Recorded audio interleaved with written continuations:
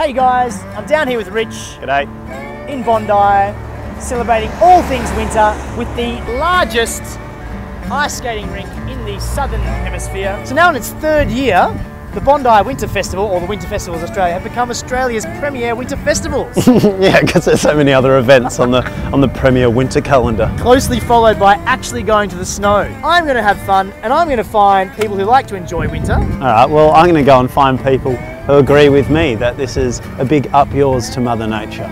I'm here with Bailey at the deep end of the Lipton ice rink. Have you heard about the polar bears and where they live? Yes. And do you know that the ice is melting? Yes. Carbon emissions right here. No, this is great. This is winter. This is um, Australian snow. So, what is your favourite part of the Bondi Winter Festival?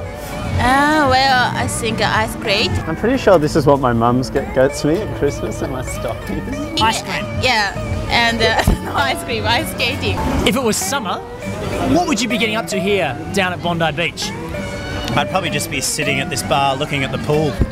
With James here in the Lipton Chai tent. James, have you been to the festival before? Yeah. Yeah. See? Yeah. See? I kind of see. See? This This- is winter. Yeah, they're still skating on water though. No, this is this is winter culture. This is climate change in action out winter here. culture.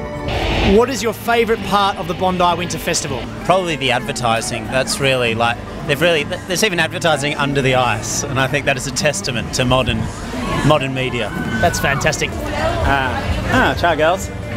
Chai girls. No, no, no, no, no. I said hi. Finally, I have found some people with some amazing winter fashion. We're actually trying to pick you up.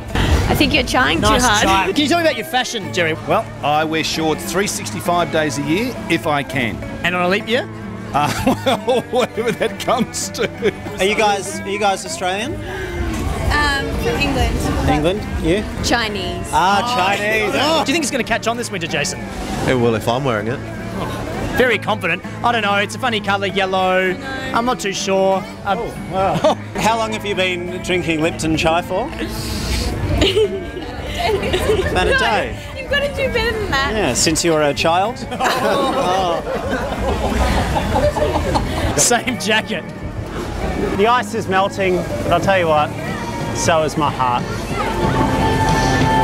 I knew you'd come round, Rich. Isn't Oh. it fantastic? Another great chai gag from the chai tent.